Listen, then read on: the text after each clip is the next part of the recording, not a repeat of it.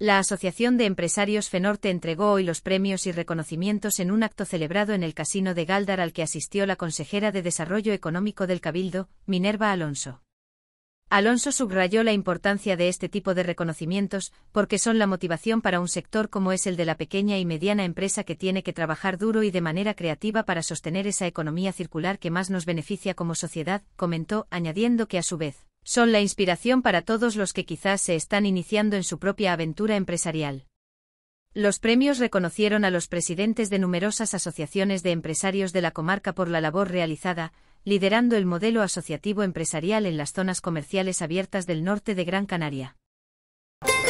Prepárate para un viaje por los sabores de Gran Canaria. Del 19 al 21 de abril, descubre en Infecar la excelencia del producto de nuestra tierra en la undécima edición de la Feria Gran Canaria Me Gusta. Consigue tu entrada en feriagrancanariamegusta.es.